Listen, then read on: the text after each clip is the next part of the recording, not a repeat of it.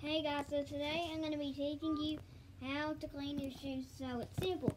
All you got to do is get one of these things, put your shoe in there, um, then you got to do this and then it should get the stuff off of it.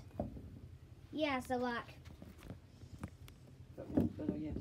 yeah, you got to put one foot against that and then uh, you got to put your shoe in there and then